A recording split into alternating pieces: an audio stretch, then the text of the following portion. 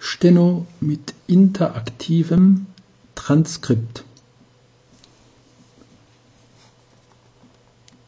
Eignet,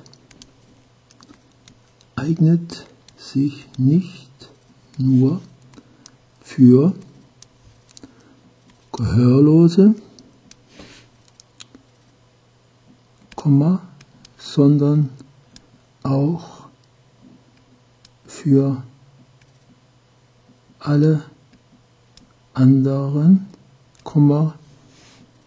die aus dem reinen Transkript etwas lernen wollen. In diesem Fall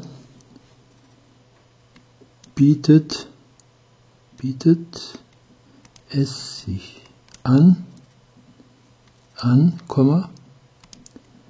das Transkript zu lesen und sich die entsprechende Kurzschrift Darstellung nur mental vorzustellen vorzustellen